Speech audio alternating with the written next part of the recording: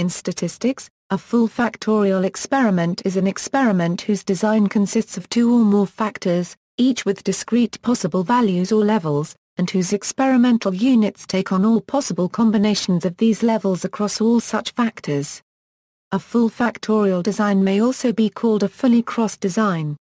Such an experiment allows the investigator to study the effect of each factor on the response variable, as well as the effects of interactions between factors on the response variable. For the vast majority of factorial experiments, each factor has only two levels. For example, with two factors each taking two levels, a factorial experiment would have four treatment combinations in total, and is usually called a 2A, 2 factorial design. If the number of combinations in a full factorial design is too high to be logistically feasible, a fractional factorial design may be done, in which some of the possible combinations are omitted. History Factorial designs were used in the 19th century by John Bennet Lawes and Joseph Henry Gilbert of the Rothamsted Experimental Station. Ronald Fisher argued in 1926 that complex designs were more efficient than studying one factor at a time. Fisher wrote, No aphorism is more frequently repeated in connection with field trials, than that we must ask nature few questions, or, ideally, one question, at a time. The writer is convinced that this view is wholly mistaken. Nature, he suggests, will best respond to a logical and carefully thought-out questionnaire. A factorial design allows the effect of several factors and even interactions between them to be determined with the same number of trials as are necessary to determine any one of the effects by itself with the same degree of accuracy. Frank Yates made significant contributions, particularly in the analysis of designs, by the Yates analysis.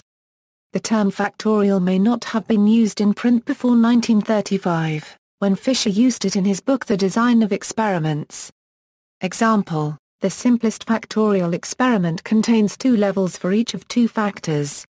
Suppose an engineer wishes to study the total power used by each of two different motors, A and B, running at each of two different speeds, 2000 or 3000 RPMs, the factorial experiment would consist of four experimental units, motor A at 2000 rpms, motor B at 2000 rpms, motor A at 3000 rpms, and motor B at 3000 rpms. Each combination of a single level selected from every factor is present once. This experiment is an example of a 22 factorial experiment, so named because it considers two levels for each of two factors, or levels factors, producing 22 equals 4 factorial points. Designs can involve many independent variables.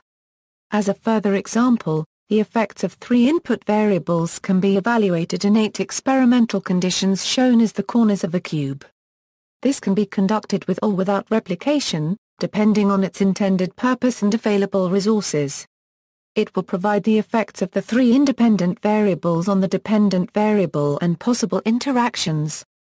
Notation The notation used to denote factorial experiments conveys a lot of information. When a design is denoted at 23 factorial, this identifies the number of factors. How many levels each factor has. And how many experimental conditions there are in the design.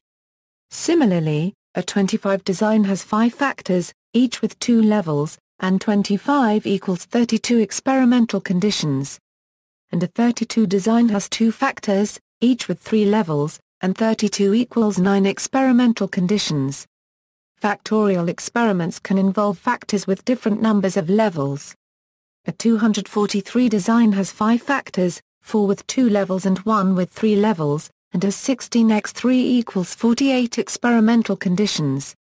To save space, the points in a two-level factorial experiment are often abbreviated with strings of plus and minus signs. The strings have as many symbols as factors, and their values dictate the level of each factor, conventionally, for the first level, and for the second level. The points in this experiment can thus be represented as, and. The factorial points can also be abbreviated by, A, B, and UB where the presence of a letter indicates that the specified factor is at its high level and the absence of a letter indicates that the specified factor is at its low level setting, is used to indicate that all factors are at their lowest values. Implementation For more than two factors, a 2k factorial experiment can be usually recursively designed from a 2k1 factorial experiment by replicating the 2k1 experiment, assigning the first replicate to the first level of the new factor, and the second replicate to the second level. This framework can be generalized to, for example, designing three replicates for three-level factors, etc. A factorial experiment allows for estimation of experimental error in two ways. The experiment can be replicated, or the sparsity of effects principle can often be exploited. Replication is more common for small experiments and is a very reliable way of assessing experimental error. When the number of factors is large, replication of the design can become operationally difficult. In these cases, it is common to only run a single replicate of the design, and to assume that factor interactions of more than a certain order are negligible.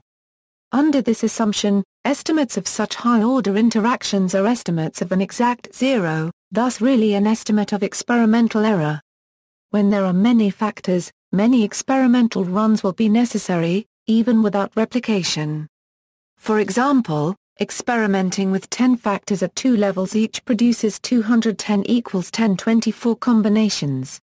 At some point this becomes infeasible due to high cost or insufficient resources. In this case, fractional factorial designs may be used. As with any statistical experiment, the experimental runs in a factorial experiment should be randomized to reduce the impact that bias could have on the experimental results. In practice, this can be a large operational challenge. Factorial experiments can be used when there are more than two levels of each factor. However, the number of experimental runs required for three-level factorial designs will be considerably greater than for their two-level counterparts. Factorial designs are therefore less attractive if a researcher wishes to consider more than two levels. Analysis A factorial experiment can be analyzed using ANOVA or regression analyses. It is relatively easy to estimate the main effect for a factor. To compute the main effect of a factor A, Subtract the average response of all experimental runs for which A was at its low level from the average response of all experimental runs for which A was at its high level. Other useful exploratory analysis tools for factorial experiments include main effects plots, interaction plots, and a normal probability plot of the estimated effects. When the factors are continuous, two-level factorial designs assume that the effects are linear.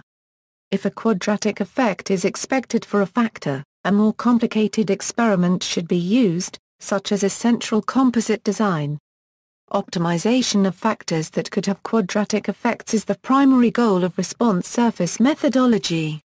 See also, combinatorial design, design of experiments, orthogonal array, Plackett-Euro-Burman design, Taguchi methods. Notes. References, Box. G.E. Hunter, W.G. Hunter, J.S. Statistics for Experimenters, Design, Innovation, and Discovery. Wiley. ISBN 0-471-71813-0. External links, Introduction to Factorial Experimental Designs, Factorial Designs,